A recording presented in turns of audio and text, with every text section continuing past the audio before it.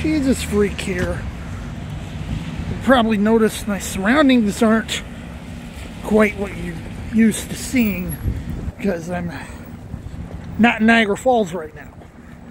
I got a doctor's appointment at the top of the hour and I'm about a couple blocks away from the doctor's office, just got off the bus.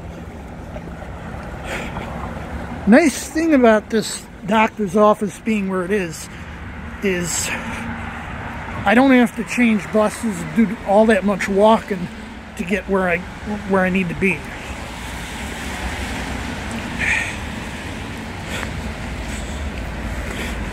Because the main bus is the bus I take goes right from the supermarket and you've you've seen this already. You know where I uh, where the bus station is.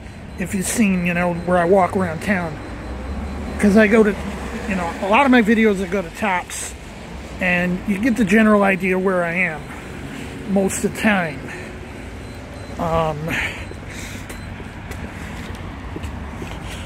but, um,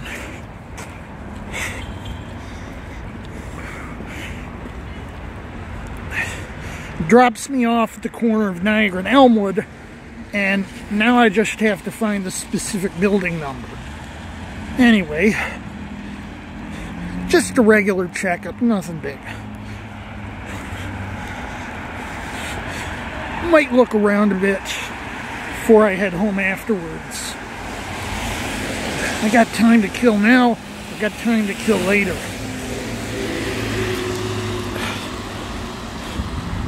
It is snowing though, and I don't have anything to cover my head, so. Jesus freak out.